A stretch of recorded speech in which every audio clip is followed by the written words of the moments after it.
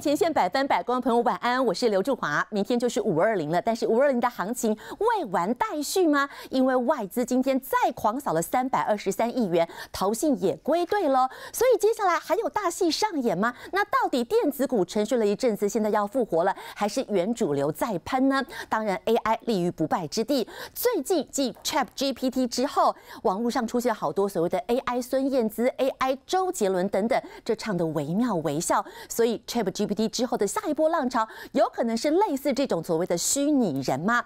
今天台币也升值了，哎，奇怪，美元最近也强哎，到底为什么在押宝周末美债没事了吗？所以美元再回到所谓的微笑曲线，这次这微笑的角度到底是陡峭的小丑还是蒙娜丽莎？请专家来告诉您。首先邀请到贵宾，钟老师晚安，朱好，大家晚安。博杰老师晚安，朱好，大家好。周老师晚安，朱好，大家好。汉伟晚安，朱好，大家好。台北股市今天再涨再创高，虽然不像前两天如此的飙涨票悍，但是今天扶摇直上，指数再涨了七十三点，波段新高一万六千一百七十四点。今天四个重点，第一个台股今天成交量。三千两百九十三亿出了大量了，今年一月三十号以来的最大量。第二个是外资，外资今天现货再买了三百二十三亿元，算一算这个礼拜四天以来已经买超了八百七十七亿元了。多单今天小减，但是整体还是有三万一千多口的水位。好，不仅外资，本土法人投信终于归队了，投信在今天转为买超，买了七点七亿元，所以贵买指数好弱。下个礼拜有不同的光景了吗？重点是今天台币呀，台币下半场升值的幅度一度拉高到了一角左右，美元不是在升吗？为什么今天台币也强？外资嗅到了什么样的氛围呢？问问专家，台积电在今天居于稳盘的角色，上涨了两块钱。红海、联发科今天都小涨，但是金融这波来真的，这波外资买，自营商也买，所以不是要赚股息，而是要赚价差。谁还有肉可图？再来，在今天国台办正式的宣布恢复台湾团客到中国旅游了，但是这只是单方面的。接下来什么时候双方面可以恢复？今天航空股先动了，然后动观光以及军工再来一次，还有在今天的 AI 一片的。红彤彤之际，人气今天聚焦在这些高周转率的个股，但是在今天因为出大量，所以我们先来看哪一些在今天股价上涨带着量涨的，代表在今天追加力道非常强；但哪一些在今天反而是股价跌而且带量的资金从这边移走了吗？还有盘中上下震荡带量，到底是追价量强还是丢股票的量强？在这些振幅超过十趴都是焦点股，等一下请专家来检视一下。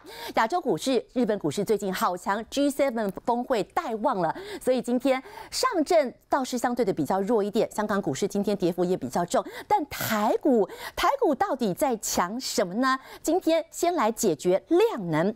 台股的成交量今天爆出了一月三十号以来的大量。钟老师，请教您今天的量在说什么话呢？对，今天出现单日三千亿，这个非常的难得。是，这代表一件事情，就是说。买盘就是法人机构的这个买盘，真的呢有让这个大家呢有一点信心，好，所以呢跟追价的人也蛮多的哈，这是买买方的部分。但是呢，很多人觉得这一波上涨没有道理啊，你说有什么利多吗？还是五二零行情呢？也都都很怪哈，就是说呃产生疑虑的人也很多啊，包括呢自营商的大买，自营商的大买后来证实那就是套利，好，就是期货空，然后现货买去赚那个价差。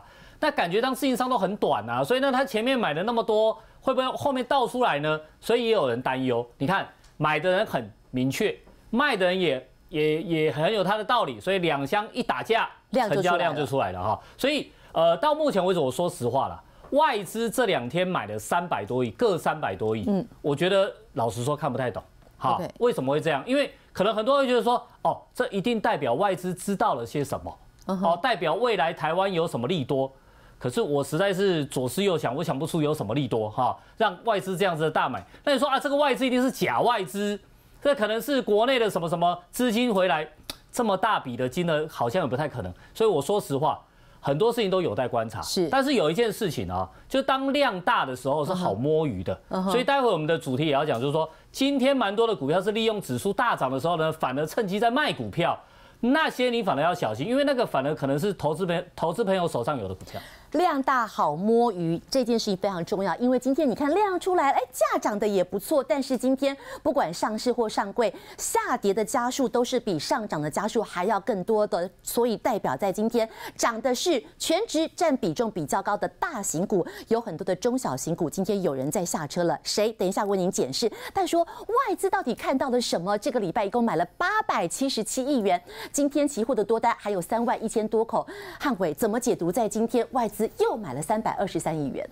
我觉得有一部分应该是外资在整个所谓全球资金做一些重新的分配啦，因为最近在所谓新兴市场的部分，其实表现非常的强劲，像日本股市创下三十三年的新高，印度股市的部分，在今年外资大举买入，印度股市已经快要创下历史的新高，所以代表说，其实外资现阶段对新兴市场的部分，除了中国跟香港以外，它其实资金有持续在流入的一个现象，所以我觉得在整个一个大资金挪动的过程里面，但我觉得台湾就收回到整个外资资金，也许现在在卡位相关的新兴市场，所以外资在最近的期货啊、现货啊是大举的做多。其实如果你去看一下印度、看一下越南、看一下日本，你会觉得说，哎，台湾虽然说最近涨得很快，但跟他们比起来，我觉得我们还算是有一点在落后的一个补涨。那我觉得整体上还是要看到，就是说。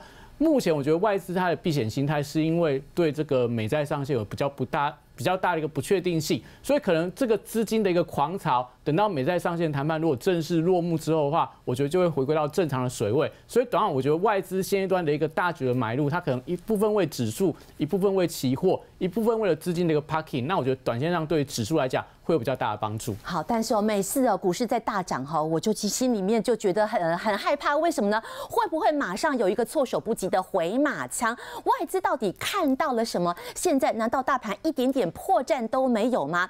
第一个大主题，博杰老师，我们要请您上台来。陈老师说外资哎，是不是看到了什么大力度？但是目前专业人士都看不到啊，你有看到吗？哎，我看到外资在买，但是我也看不到外资看到什么。来，我们来看大盘的指数。我们先预估一下，如果外资，你看。钱是真的嘛？好，钱量一直增加，指数也一直增加，外资买也是真的。台股的下一步，甚至下个礼拜五二零之后，你会怎么看呢？我们来检查一下。第一个，你看最近是一个递增量，对。再来，它有没有突破先前下降的压力？也有。再来，我们看形态，也突破。你看形态，它也是突破嘛？是。而且是增量的嘛？好，那我觉得可以先下一个结论，判断，嗯，这一次的突破一定是真的。OK。好，那只是说。后面能涨到哪里，我也没有办法给你一个明确的答案，因为不知道为什么涨。对，不知道为什么涨，那可是没有关系，因为它既然已经突破形态，那就代表一件事，原先的高点压回来，它一定会变成什么？支撑。支撑。哦。也就是说，初步来判断，一万五千九到一万六，只要不跌破，这一波它就有继续涨的条件。哦，我们大盘，我觉得我们就先这样看就好了嘛。OK，好，那我们看哈，这是大盘的图，我们时间再近一点，最近的大盘就是这几天带量涨这个样子哦。好，先不要清，我们来切贵买的同一时间，贵买这几天表现这远远不及大盘，你看整个反向走，所以如果在接下来大盘有机会，就是以现在的平均的这个呃高点已经变成支撑了，接下来结构会不会改变？为什么贵买指数都没动？好，这两天结构其实有点改变，因为这两天。是大盘先过高，结果贵买到今天还在这个均线附近挣扎嘛？季线都还站不回。对，那就代表一件事嘛。先前大盘在跌、在震荡的时候，那只是在里面玩的很高兴，嗯，他是撑的有点辛苦，但也玩的很开心的。现在外资回来买了，他是不是可以放下重担了？是不是如释重负了？哦，我我是可以顺势把我手上。买超过的筹码丢给外资，丢给外资嘛，丢给散户嘛，因为散户看到外资进来，一定会进来买，对不对？所以对于内资来讲，最近是什么换股的好时机？OK，好，丢给外资不干我的事，丢给散户那可就不行了，因为很多散户可能追到高点，个股接下来的一个替换，谁可能上，谁可能下？我们先来看中小型股，再接下来谁可能会转弱了呢？好，这个好，我们先来看中小型股那一个字卡，好的哦。你看，贵买近期相对比较弱势，对不对？中小型股到底有没有熄火？第一个，确实，事实是什么？贵买的指数短线它就落后加权，代表什么？这一波它是弱的，对，它不是主角。嗯，那不是主角原因在哪里？因为它的量不能放大。嗯，量没有放大，代表一件事嘛，人气并没有随着外资大买台股而进来。对，也就是说这一波是外资在做庄。对，那既然外资在做庄，内资在旁边看戏的时候。你就只能买外资买的股票 OK 或者是有一些跟着外资一起做上来的股票。好，但是因为这样，你也不要觉得说啊，这个 OTC 好像差到要跌下去，不会。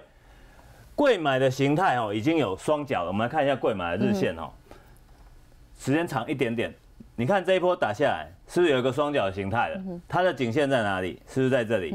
也就是说，下个礼拜假设大盘它是过高以后在这里震荡，对不对？那贵买刚好补一根红棒上来的时候，哎，这个形态完成以后，这个高点就一定会过嘛？所以整个大盘就完美了。对，就完美了嘛。好，所以我们回到字卡哦，等待站上颈线多少？两百一十四点六点的位置。所以下个礼拜你就盯着看。如果到这个位置一直过不了，那你要有警觉。为什么？因为很有可能那只这次真的不会买，他就只只会跟着外资做。如果是这样，当加权一回头的时候，它就要小心，它会跌得更重。OK 好，这个你要小心，因为弱势股就是这样嘛，涨的时候涨比较少，跌是跌最多、跌最快的嘛。好，那原主流哈这几天很明显，原主流有涨多拉回的现象，对，而且震荡非常的大哦，包括像什么。军工跟 AI 的软体，没错尤其是今天你去看哦，亮灯跌停或跌幅到百分之八以上的，直通概念股，好，对，治安呐、AI 软体概念最多。好，但是原本的主流，你也不要觉得全部都弱，其实没有哦。观光在今天有什么接棒补上来了嘛？嗯那这个东西就告诉你一件事嘛，政策啊，还有题材都还是焦点，只是说先前军工它涨得多，涨得多，它在这里是就稍微休息了嘛，是对不对？但是休息过的股票，它反而有机会起来。OK，好，军工、AI、观光有机会接棒，我们各看这几个族群当中，指标股看谁，哪一个指标股它可能走完了，其他可能都没戏了。好，我们来我们来看指标股好了，我们先看软体的哦，因为这个说实在一定有人套在上面哎、面。这很难操。前天几乎清一色涨停股全部都是，然后昨天我们才在讲说要小心，结果今天震荡的幅度好多超过百分之对。这这三档最有代表性哦，嗯林群、资通跟零一哦，我们来看一下最近法人，你看外资其实还是有买，嗯，外资只有林群是卖超。我们来看图比较快，先看林群哦，你看昨天涨停，今天跌停，对不对？好，时间长一点点哦，它坏坏在哪里？它涨了这么一大段。好好在哪里？它都维持在这里震荡，所以其实今天它只告诉你一件事：昨天主力误会一场了。哦，昨天是误会一场啊！昨天想说，哎、今天要一起拉上去，外资要大买，对，哎、发现昨天买完发现啊，没有人跟，OK，没有人跟。哦，你可以去看昨天买的券商是谁，你就会知道我的意思了。OK 没有人跟，当然今天打回来速度就够快。好，我们看下一档，这个是资通，一样嘛？一样，资通其实前面它就先拉回了，嗯昨天三个都拉上去，对不对？哎、今天又回来，但今天回来有没有破坏先前整理的形态？没有。其实没有。OK，没有这是好事啊，代表说这个不是说哦这边涨过高然后爆出天量，没有嘛？好嗯，再看下一档，哎、也是，零一零一就有，嗯。零一比较不好是嗯，你看零一是整理了大概三个月，对不对？昨天一个跳空，一个中长红突破，失败，失败，嗯但是昨天也有败笔，你看昨天的量，嗯哼，哎，追加的量不够，昨天量怎么那么少？对那表示一件事，它有好有坏。昨天量那么少，可以涨停上来，对不对？代表什么？代表它筹码其实是安定的。那今天会打回来，代表什么？代表说大家都想说要吃它豆腐，对不对？结果没想到在里面变成多杀多嘛。好，可是因为今天出了这个量，对不对？今天出了这个量，代表这里买的有人闹跑了，OK，哦，所以这个整理的时间也会拉长。军工现在是整理还是转好，弱？军工哦，其实都在整理。你看有没有外资啊？雷虎在宝盛啊，龙钢都卖超的，我们三个一起来检查。好，雷虎，雷雷虎也是嘛，雷虎的高点在什么时候？是在四月中旬呢，就是传那个美国那个军火团要来之前就先见到高的啊，军火团来反而是次高就下来嘛。好，它有先打回来修正，是然后也打到哪里了？这条是季线，所以正常来讲，如果军工这一块后面的前景还是看好，季线它要守住。OK，那目前也都有守住了，啊量被处置嘛，所以量也没有太大嘛，所以 OK，目前这个不危险，但是呢，你要等它哦这边真正能够补完这个缺口，才代表什么？这一个小底出来嘛。啊，如果季线啪就破了呢那带量就完蛋了。OK 哦，不能出这种量哦。？OK，这种量还好，这种因为它季线破了哈，嗯哼其实下一个关卡在哪？就是在六十块这里。你看今天收盘收多少？收六十四，其实它还是有伸缩的空间，就是说我可以容忍它跌到六十，但我不能容忍它用中长黑去跌破六十嗯这个位置。如果打来六十还是没有量，然后又上去，那就没事嘛。OK 嗯好，如果打来六十量放大了，而且灌破，那就告诉你真的转弱了。好，接下来宝盛光学今天上下震荡的幅度超过了十趴，宝盛哦，嗯。自从涨到一百五以上以后，你有没有发现？量，这个量嗯哼，开始变大了？对，有没有？嗯嗯，开始变大，所以这告诉你一件事，在一百五以上，嗯市场的多空开始已经分歧了嘛。，OK，那既然是分歧的话，他就需要做一件事嘛，嗯把这两边的人修理到都不分歧为止嘛。嗯什么叫做修理？就是我要在这里震荡嘛。对，那所以目前来看，因为今天量很大，而且又把昨天缺口补起来，对不对？那就告诉你，它又要回来一百五十块以下震荡。哦，它又要回来这边震荡了。嗯好，那震荡到什么时候？震荡到哦量能够像这样又回缩下来。缩下来，对，要这样缩下来，因为最近量很大，但是都涨不动嘛把。战场整理一下对，它就需要整理战场啊，要清理清理门户了。哦，所以这个短线它也不会涨。OK，好，这是军工。来下一个族群，我们再来看，除了刚刚的软体军工，观光，观光今天有新的消息，哎，好，观光这个消息哦，对他们来讲当然是刺激盘中嗯了。那我不认为说这个消息有办法让它走太远，为什么？今天是我们可以去大陆观光，不是大陆可以来这里观嗯光嗯。重点在这里吗？我们是几几人？两千三百万人，大陆是多少人？是十亿人口，哎所以你光人数你就知道啊，这个刺激性没有那么大。那观光也，你看观光这一阵子有没有？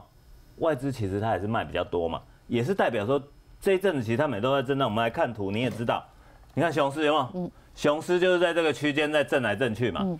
今天这个利多有没有让它涨停？嗯没有嗯没有，反而还收一个有点上影线，对不对？这就代表说，目前观光它还没有真正要往上突破，但至少这对他们来讲是什么？是正面的嘛。OK 我们看下一档哦。云品今天震荡幅度更大了，对今天收了一个好长的上你看影线，云品有上影线，我们看韩色，嗯，韩色是今天里面哦算什么？算反应比较大的，我们来看一下韩社的分时，来看看今天盘中公布这个消息之后，好不好？嗯，你看韩色是直接拉上去对的，，那最后如果说这些到底还有没有多头之火呢？这几档是指标，钱有没有机会像最近一样回到大型的已经沉睡好久的大型电子全指股？已经回来了对。大型电子股已经醒了。我们刚刚来看一下大型电子股为什么行哦？我觉得最重要是谁？辉达，辉达，辉达领涨以后，让哎它创历史新高了。，对，让整个费半去挑战前高嘛。那辉达上来，他告诉你一件事，我 AI 这一块啊，高速运算这一块其实复活了嘛。所以其实你今天注意看哦，今天盘面很多都是在涨跟辉达相关的是。好，那费半。